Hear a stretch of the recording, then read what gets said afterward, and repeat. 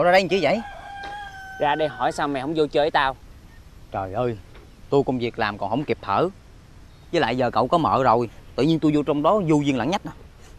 Biết vậy tao không thèm cưới vợ. Mình đàn ông con trai lấy vợ sanh con nói dở tông đường đó là chuyện bình thường. Sao cậu cãi được? Sao mày không cưới đi? Tôi nghèo gần chết. Thân lo còn không xong cưới vợ về lấy gì nuôi vợ Hay là mày cưới con Huệ đi.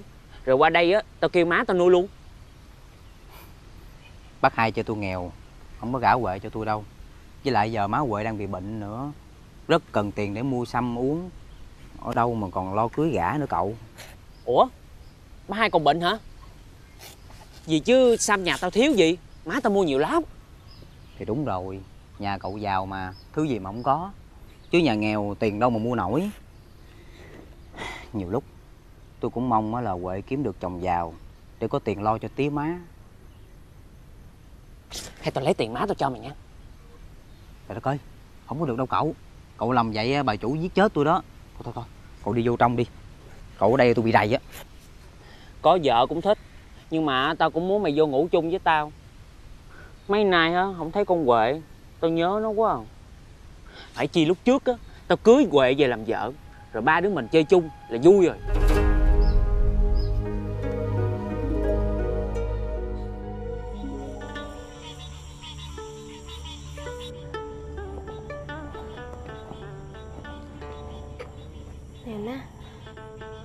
thuốc đi má. Con biết là khó uống lắm Nhưng mà Má cố gắng uống đi để mau khỏe nha má. Chí con đi đâu hồi sáng giờ mà má không thấy vậy? Dạ Hồi sớm á Tí nói là tí có việc Phải lên chợ mua gì á má. Mà không hiểu sao tới giờ này tí chưa về nữa. Hay là ổng là đi tìm con Lan Để mượn tiền Hoặc nhờ nó Dây tiền lời. Mọi việc cứ trút lên đầu nhỏ. Má Má yên tâm đi. Ừ, Chị hai nhắm được á Thì chị hai mới làm mà. Nè hai má con có nhắc gì tôi không mà dọc đường về tôi ách xì quá trời luôn à. Bé Ông về rồi Ờ. hả? à, à tôi về trễ là bởi vì tôi cố tình chờ mua cho bằng được cái này đây nè. À cho nên trễ ghe phải qua vàng hai ba lần đò. Cho nên giờ này mới về tới đó. Nè con. Cái này là gì vậy té? Tía mua cho má con đó.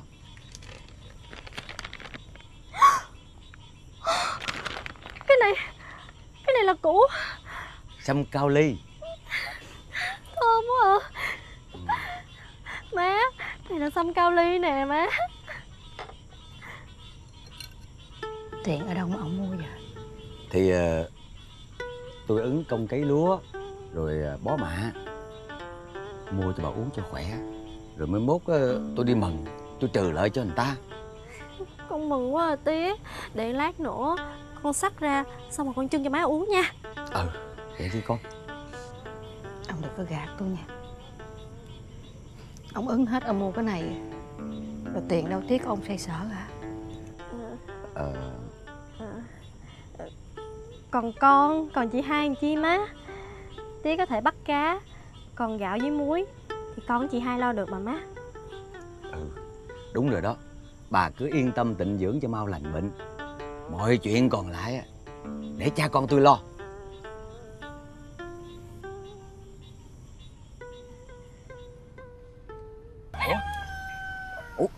Sao huệ dám qua đây gặp anh vậy? Bác hai biết bác hai la sao?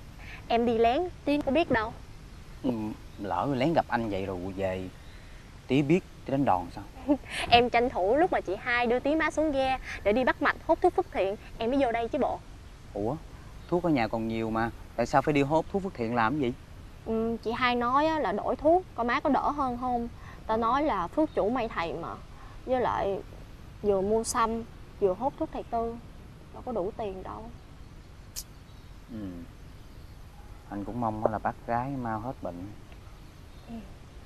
Mà nè Sau này á, mà tí có đi đâu Em tranh thủ qua đây nghe. Nói được rồi làm được con ơi Được mà. Cặp nãy chuối nãy giờ đi đâu à? Quên mất tiêu luôn á. Nè cho anh chứ làm sao nữa. Ừ, anh nhớ để dành ăn nghe chuối chín bói luôn á. Ê cái chuối này á cậu hai thích lắm nè. Sao gì cũng cậu hai vậy anh sợ người ta giận á cậu hai người tốt mà với lại cậu hai cũng thương tụi mình mà. Biết là như vậy nhưng mà mà anh ừ, từ lúc á mà cậu hai lấy mợ về anh thấy cậu mợ anh sao? Ừm, cậu hai thương mợ hai dữ lắm. Chăm mợ hai giống như chăm em bé vậy đó. Vậy hả? Ừ. em nghe em nói vậy em mừng quá à. Chắc là mợ hai thích lắm đúng không? Mợ hai thích hay không anh cũng không biết. Nhưng mà cậu hai cứ trốn ra đây kiếm anh hoài. Anh sợ bị đánh đòn gần chết nè kiếm anh chị thì kiếm anh để chơi mấy trò chơi giống như hồi xưa vậy đó.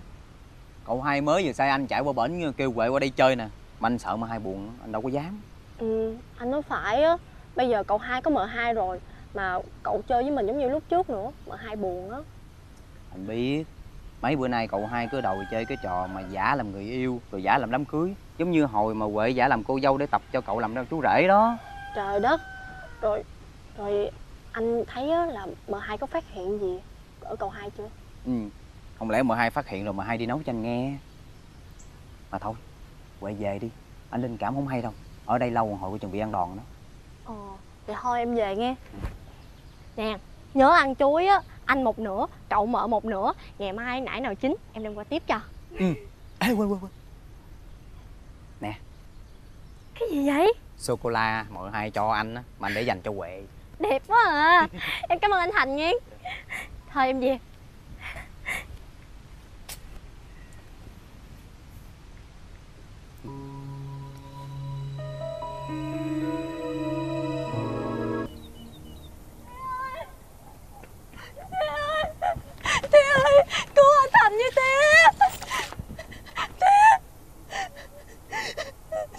Gì vậy? Anh Thành đi Tía cái gì? Thành thành thành cái gì tía đã không cho con gặp nó mà cứ thành thành thành là sao? Anh Thành đang bị đòn Bây giờ Tía không giúp á Anh Thành bị đánh một trăm rồi luôn Anh chết á Tía thì nó làm gì nên tội á? Bà chủ bà mới phạt nó. Dạ không phải. Tất cả là do con. Tại sao do con? Con nói là bác cần nhân sâm để uống. Cho nên á anh Thành đưa cho con của nhân sâm thiệt là lớn luôn. Nói là cậu hai đưa trời thành nói cậu hai đưa vậy sao nó còn bị đòn? Mà bà chủ không chịu tin. Tía giúp anh Thành đi Tía. Được rồi để tía dò la coi sao rồi mới tính cách được.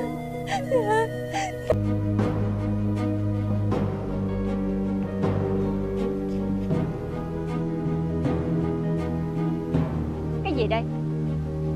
Mới mượn mấy chục bạc. Đã xài hết rồi ha Mới sáng sớm. Qua đây để vay mượn nữa hả? Dạ, thưa bà chủ, không phải vậy.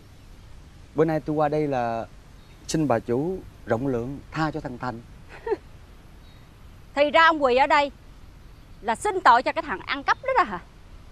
Dạ anh Thành không có ăn cắp ăn trộm gì hết mà. Ảnh nói với con á, là cậu hai cho ảnh.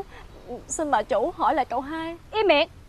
Đồ của tao thì không được mang ra khỏi nhà tao Tụi bay to rập với nhau Dụ dỗ con trai tao mang đồ quý giá cho tụi bay Tao chưa cho nó đi tù là may mắn lắm rồi Sao Hay là mày muốn đi tù chung với nó Tao cho đi luôn Dạ, dạ lạy bà chủ. Dạ, trăm sự tại nơi tôi. Thân già không lo nổi thuốc cho vợ. Cho nên con gái đi than thở mới sanh ra cớ sự này. Giờ tôi xin bà chủ rộng lượng tha cho thằng Thành. Cho dù ai lấy củ sâm đi nữa thì cũng lỗi do tôi thưa bà. Dạ thưa bà. Củ sâm đó là của cậu hai á, đưa cho thằng Thành. Biểu thằng Thành đem về cho con Huệ. Cái đó chính mắt con nhìn thấy luôn á bà. Nhiều chuyện. Đồ nuôi ông tay áo. Mày mà còn nói nữa. Tao kêu thằng Tấn lôi đầu ra chuồng dịch Nhốt ngoài đó luôn à